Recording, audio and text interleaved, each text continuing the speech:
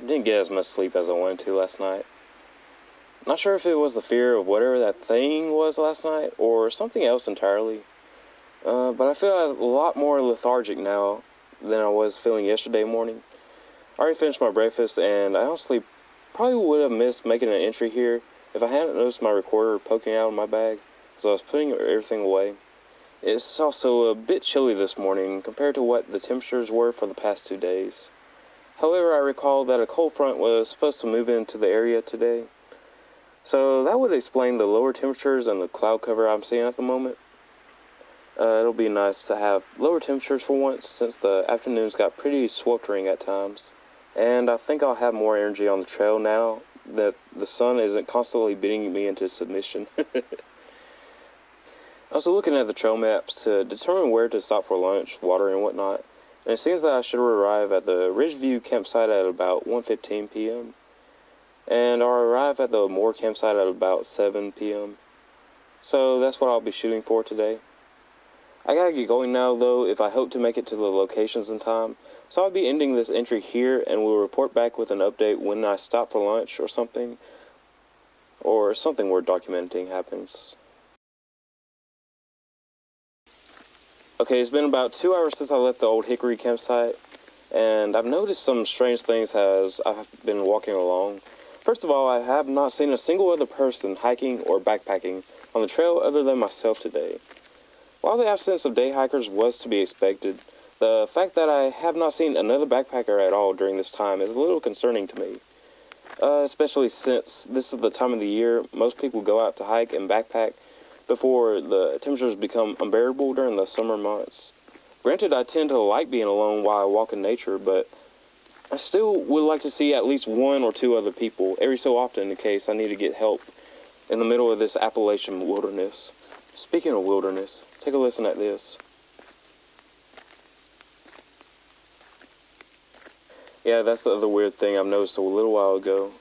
Nature is absolutely dead silent right now.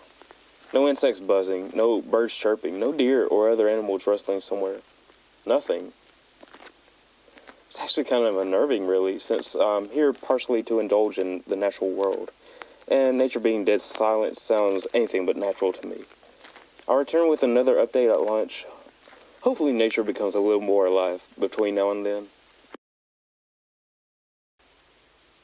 I'm currently prepping lunch at the Ridgeview campsite, although I actually almost completely missed it because of the lack of signage indicating its location to hikers. It's, uh, it's also looking more dilapidated than the previous campsites I've encountered. Although the maintenance of these campsites and shelters have been known to be somewhat spotty from time to time, still I can't help if it's just me not thinking straight like usual, the atmosphere throwing off my mood, or something else going on with me for me to just completely bypass a place I had planned to stop at for lunch. Nature has remained really silent since I ended my last century, though I have heard some distant noises about 10 minutes before I arrived at Ridgeview campsite. They weren't the same kinds of sounds I heard last night, but they still didn't sound like the any kind of animal sound I've ever heard in my life. I don't know what's going on between the lack of anybody else on the trail and these other weird things going on but it's starting to creep me out quite a bit, and I don't really want to stay in one spot for too long, lest something undesirable happens to me. So, uh, on that note, I'm going to finish cooking lunch, eat, and get out as soon as possible. I hope I'm just being paranoid or something, but I don't like the feelings I'm getting right now. Okay, I'm probably way more tired than I thought I was, but I could have sworn I saw something moving through the trees just now. I'm thinking it's just me moving my head too fast, and that's making me see big things moving up my peripheral vision. But with all the other weirdness that's been going on since this morning, I'm not sure what to think anymore. Uh, I think I'm just going to hurry towards the Moore campsite now, so I can just set up camp, eat dinner, and just go straight to sleep before the sun sets. I really don't want to be awake at night with all this crap going on around me. As for the whole sightseeing thing, I only really care about the views of the top Overlook Peak anymore. I had wanted to get a look at some of the other views this section of the Pinewood Trail had to offer, but I, I don't feel comfortable standing around unnecessarily at the moment.